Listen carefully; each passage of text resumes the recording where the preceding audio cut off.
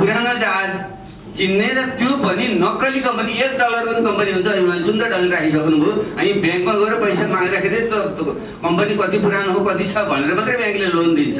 भने अरबौँ अरौँ पच्चिस अर्ब रुपियाँ बराबरको चाहिँ कारोबार गर्ने कम्पनीले चाहिँ एक डलर मा खडा गरिएको कम्पनी बिजुली कम्पनी मार्फत पच्चिस अर्ब रुपियाँ चाहिँ गर्न मिल्छ कारोबार गर्न मिल्छ। त्यो सिधै दालमा कालो भने त्यसै प्रष्ट हुँदैन। र फेरि किन? किन? जब सिधै कम्पनीले चाहिँ अब बोइङ भन्नुहोस् अथवा एयरबसले प्रत्यक्ष नै उसले चाहिँ बेच्छ भने बिचको कम्पनी चाहिँदैन। त्यसले बिचौले त्यो कम्पनी खडा गर्नु र नयाँ जहाज किन्ने प्रावधान विपरीत गरेर पुरानो जहाज खरिद गर्नु भनेकै त्यो बाटोदार नै हो। त्यसमा कुनै पनि दुबेल छँदैछ कति पनि छैन। अब यहाँ मैले पनि सोधेँ यिनी मान्छे किन त्यसो गर्नुभयो त भने मैले त्यो मुख्य मान्छे मैले सोद्धा बडो त्यो लडखडेको जवाब के दिन्छन् भने अब हामीलाई चाहिँ त्यो उनी ल्याउनु पर्ने थियो एयरबसै ल्याउनु पर्ने थियो।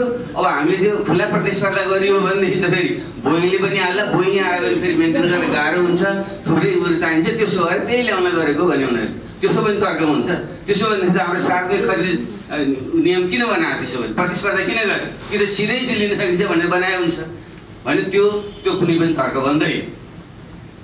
र सिधै नै भ्रष्टाचार गर्नकै निम्ति त्यो गरियो र भ्रष्टाचार भयो। यसमा कति दुविधा छैन। जुन ठुलो हिम पहाड तल छ। त्यसको चाहिँ एउटा टुप्पो देखेको मात्रै हो। कहिले एनसेल प्रकट गरेर देखा पर्छ कहिले बुढी गण्डकी भएर देखा पर्छ कहिले चाहिँ अर्को भएर देखा पर्छ अहिले यसमा देखा परेको। लाउडा बाह्र वर्षदेखि पन्ध्र वर्ष बाह्र वर्षदेखि अदालतमा छ र अस्ति मात्रै खबर आएको थियो पन्चानब्बेचोटि त्यसको सुनवाई सरेछ ल भन्नुहोस् त। पन्चानब्बेचोटि एघार वर्षमा बाह्रवटा प्रधान न्यायाधीश भए ठुल्ठुला बडा ठुल्ठुला नाम चलेका प्रधान न्यायाधीशको कुरा आउँछ। उहाँको पालि किन स्क्रिन यिनीहरू? किन स्क्रिन पन्चानब्बेपट्टि किन सर्छ त्यो प्रष्टै छैन। लाउडा प्रकरणको अहिलेसम्म टुङ्गो लागेको छैन। भने कुनै पनि टुङ्गो चाहिँ लाग्दै टुङ्गो लाग्दैन। किनकि यसमा कैँचो मैचो छौँ काले काले मिलेर खाउँ वाले भन्ने जुन गीत छ सबै मिलेर भाले खाने भएपछि यो कहिले पनि यो टुङ्गिँदैन। त्यसको निम्ति राज्य नै जुन एउटा भ्रष्टाचारको चाहिँ एउटा केन्द्र बनेको छ राजनीतिक दल जो त्यत्रो त्यागेर बलिदान गरेर आएका काङ्ग्रेस र कम्युनिस्ट ब्रान्डका एउटा कोका कोला र पेप्सी कोला जस्ता अत्यन्त लोकप्रिय ब्रान्ड भएका गए गुज्रेका पेय पदार्थ जस्ता पार्टीहरू जुन ढङ्गले अहिले सत्तामा छन् उनीहरूले मिलोमतो गरेर यो सबै गरेको प्रष्टै छ र समिति जो संसदको लेखा सार्ने लेखा समिति छ।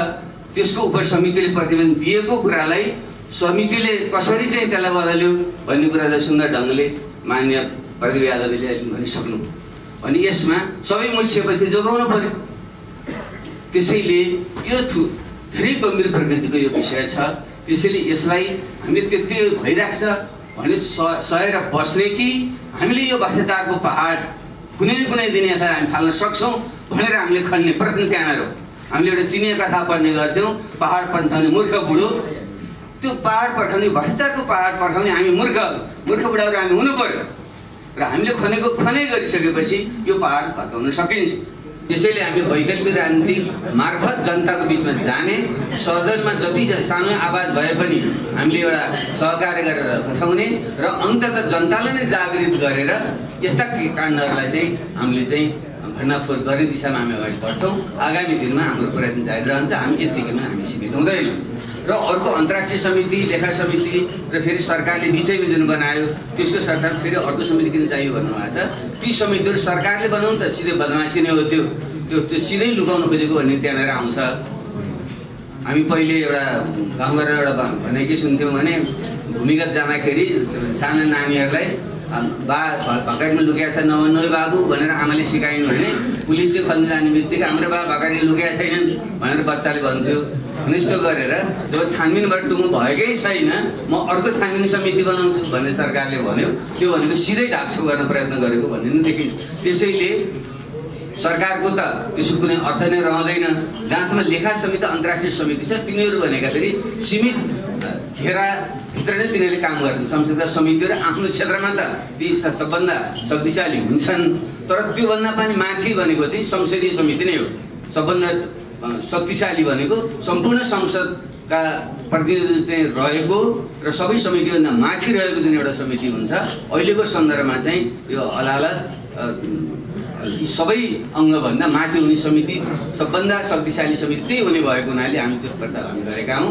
त्यसबाट नै हामीले चाहिँ यसलाई एक्सपोज गर्ने हामीले प्रयत्न गर्छौँ। भएन छ भने फेरि जनताको कोर्ट त अन्तिम फैसला गर्ने ठाउँ त्यहाँ छँदैछ त्यसले नै त्यो गर्न सक्छ। त्यसैले यो कुरा हामीले उठाएका हौँ।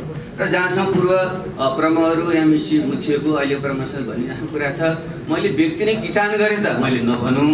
तर मैले तपाईँले के भन्न चाहन्छु यो देश भनेको तपाईँले सबैलाई थाहा छ। म त प्रत्यक्ष त्यो कार्यकारी अब ठाउँमा बस्ने प्रमुख कार्यकारी ठाउँमा बस्ने तपाईँले अवसर दिनुभएको हुनाले प्रत्यक्ष मलाई देख्ने मैले बुझ्ने अवसर पनि मैले पाएको छु।